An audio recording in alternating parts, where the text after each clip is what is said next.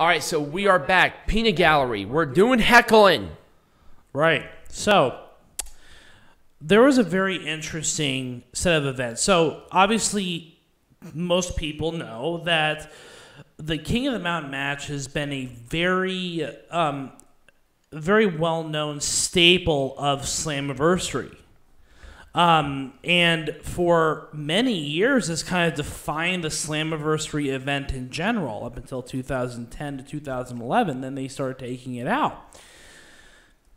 So recently, Moose did an interview with a, a news station based out of the Tampa, Florida area, talking about the Slammiversary show, um, the not Slammiversary King show, um, the No Place Like Home. Before before the pandemic happened, there was going to be this uh, TNA event. Which we had tickets to, but we won't. No, we didn't ab- have tickets to that one.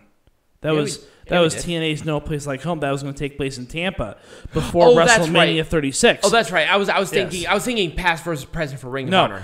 Um, so Moose said in an interview at around that point in time that the plan was to bring back the um, King of the the King of the Mountain match.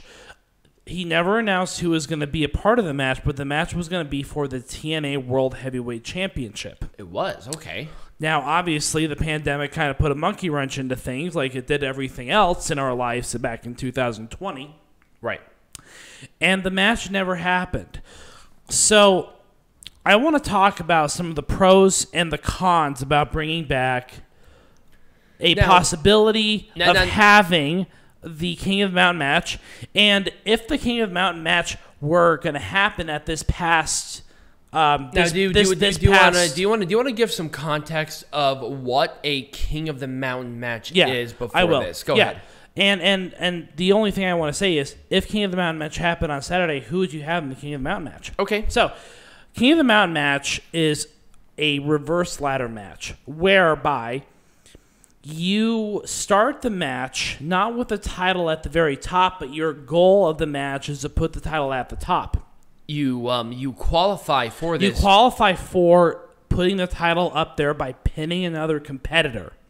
So, if you were a participant in the King of the Mountain match, your goals were to number one, pin another individual to the to, count to of three. qual- to qualify To to, qualify. take the title up there. and then you go out of the ring, you grab the belt, and then you take it up before the other competitors are able to Also, if you are you from also if so. you are pinned, you go into like a penalty box for two minutes. right.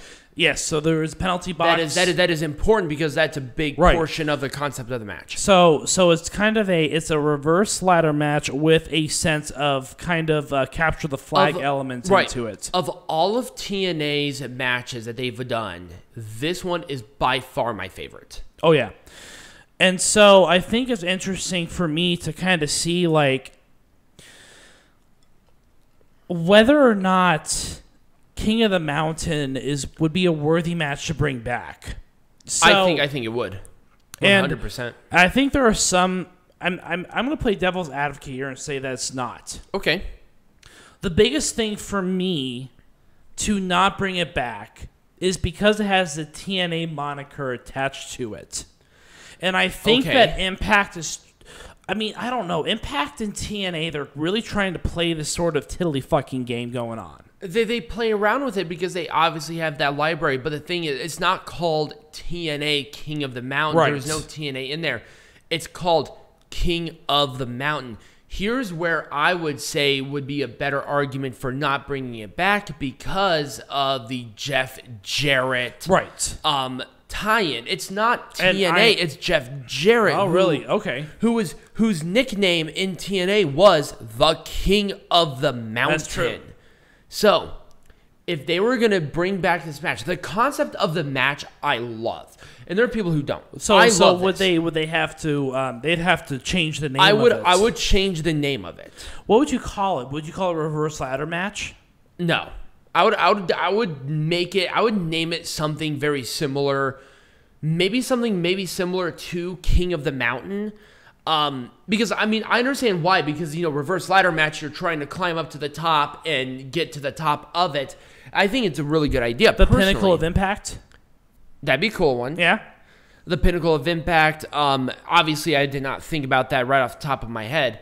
Uh, like I do, because I'm a genius and a scholar. Well, you're a lot better about those um, word vernaculars than I am.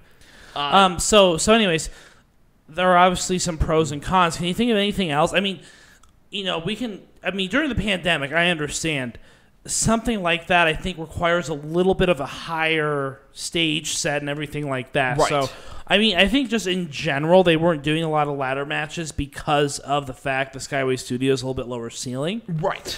Um, Maybe maybe when they bring back um, Bound for Glory, they could do something like that Right. because with all of these other companies being involved, there's clearly going to be a uh, much bigger concept. But they did fucking Ultimate Right. X totally fine, so I wouldn't to be right. I wouldn't I wouldn't think there would be any issue of doing a King of the Mountain and Skyway. And and I, I wonder I wonder if the reason that they took out King of the Mountain was because of that association with Jeff Jarrett. Now that you're thinking about it, because they took it out what 2010 2011 right? That was Right. about the time of the Hulk Hogan era.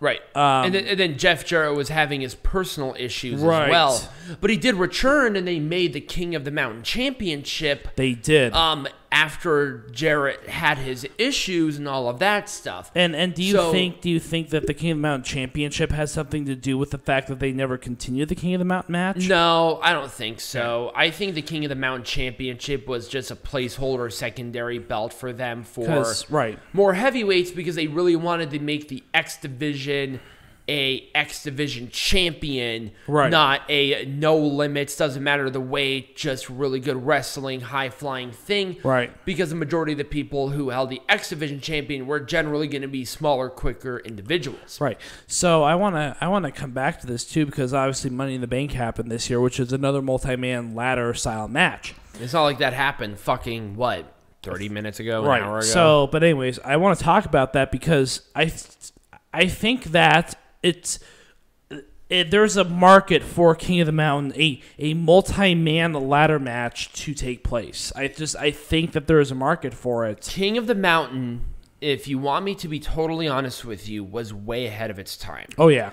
Um, of all the ideas that they've done, they did reverse battle royals, which is convoluted. This match itself, there's a lot going on with it, but I feel like there was enough structure where it made it work. It made sense. It made sense. It made it work. So uh, Because so think about it. If if you're the guy being pinned by the other, It's- it's- it's your se- entire goal is to ensure that that person does not get up the ladder, but you're stuck in this cage for two minutes. Right. And um, the thing was, is that you're not ineligible to pin somebody else after you are eligible to go up there. Right. You could sit there and pin somebody 10, 15 times Right. to put them in that penalty box for two minutes. Um, if it was up to me, I probably wouldn't have the penalty box concept in the first place personally because we're already injured enough to where they're not going to get up immediately. That's true. I would have personally set up to match to where hit a big move, hit something big, or do a tap out with like the leg where they couldn't get up for two minutes. Make the penalty not an obvious penalty. right. So, um, but you know, memorable moments with money or um, with King of the Mountain. It's one of my favorite matches. Yeah. I've always loved King of the Mountain. So I think we're both in agreement that King of the Mountain should kind of be It, it should it should be there, but it shouldn't be called King of the Mountain. Right.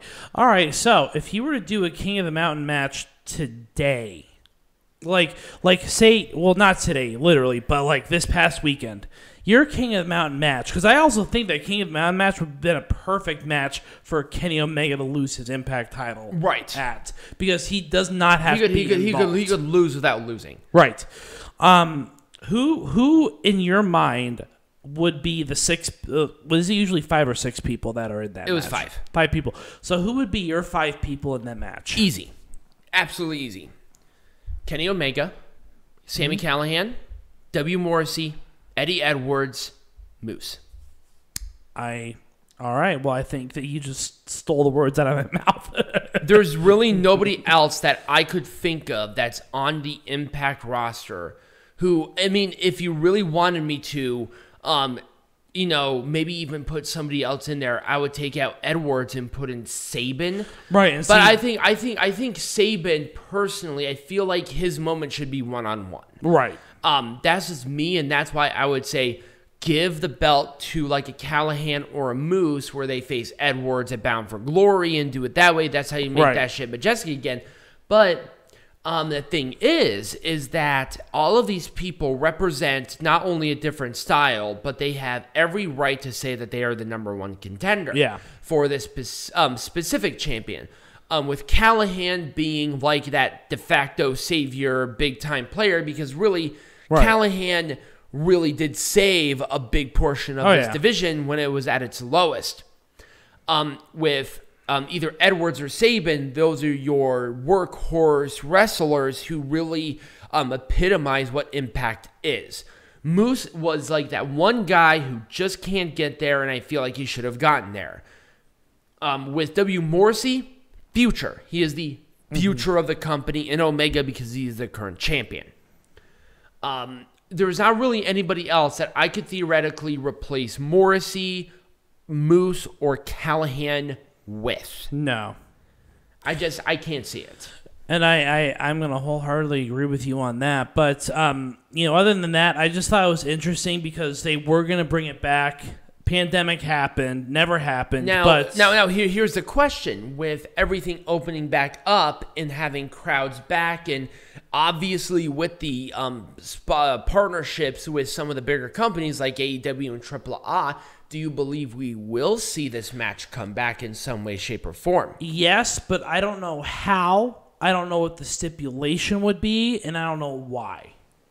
Okay. I need to know what the stipulation well now, is first. well now, when we go into wrestling lesson, I might be able to answer that question. So we'll get to that once we come back from our break. Absolutely. But before we go into it, I want to leave an open ended question for anybody who's listening to this.